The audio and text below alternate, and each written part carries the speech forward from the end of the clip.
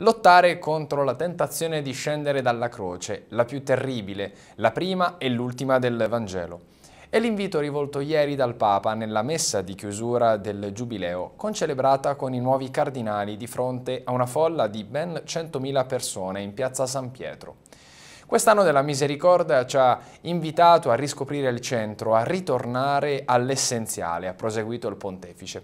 Questo tempo di misericordia ci chiama a guardare al vero volto del nostro Re, quello che risplende nella Pasqua, e a riscoprire il volto giovane e bello della Chiesa, che risplende quando è accogliente, libera, fedele, povera nei mezzi e ricca nell'amore, missionaria.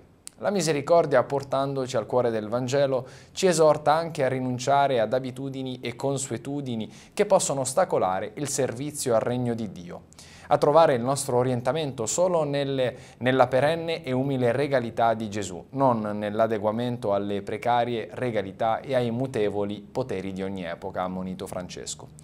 Chiediamo anche noi il dono di questa memoria aperta e viva, l'invito al termine dell'anno santo straordinario della misericordia. Chiediamo la grazia di non chiudere mai le porte della riconciliazione e del perdono, ma di saper andare oltre il male e le divergenze, aprendo ogni possibile via di speranza.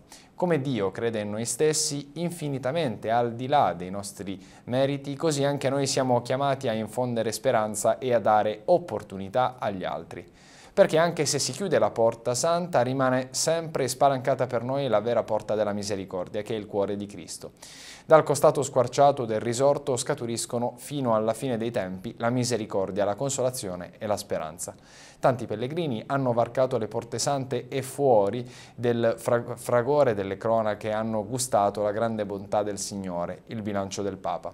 Ringraziamo per questo e ricordiamoci che siamo stati investiti di misericordia per rivestirci di sentimenti di misericordia, per diventare noi pure strumenti di misericordia. Proseguiamo questo nostro cammino insieme, ha concluso.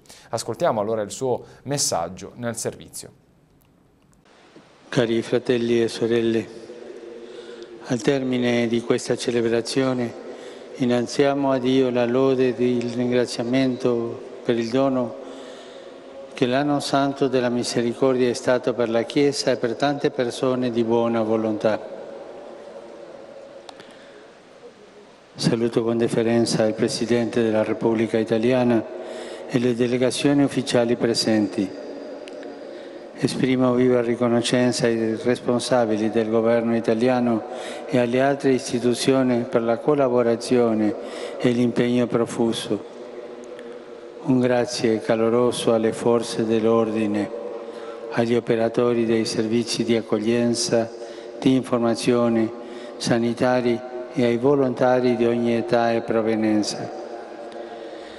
Ringrazio in modo particolare il Pontificio Consiglio per la promozione della nuova evangelizzazione, il suo Presidente e coloro che hanno cooperato nelle diverse sue articolazioni.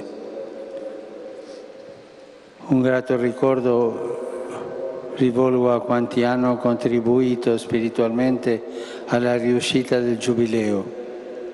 Penso a tante persone anziane e malate che hanno incessantemente pregato, offrendo anche le loro sofferenze per il Giubileo.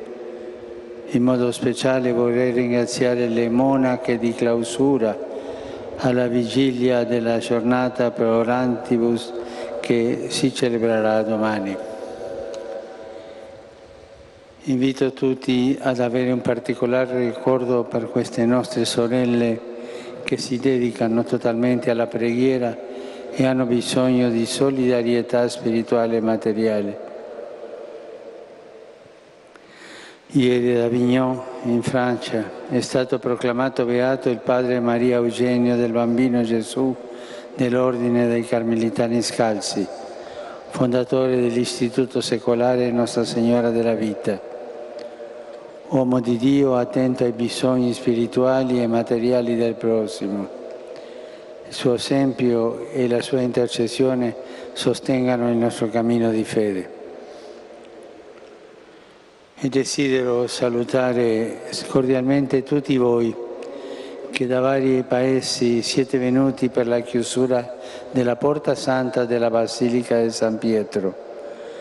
La Vergine Maria ci aiuti tutti a conservare nel cuore e a far fruttificare i doni spirituali del Giubileo della Misericordia.